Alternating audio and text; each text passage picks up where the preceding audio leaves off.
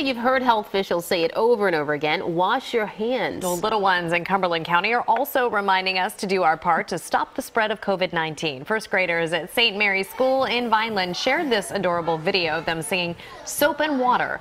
The video shows the students washing their hands. Their music teacher helped them spread the important message. And now this song will be stuck in your head for the next two weeks So when your cute. kids are home.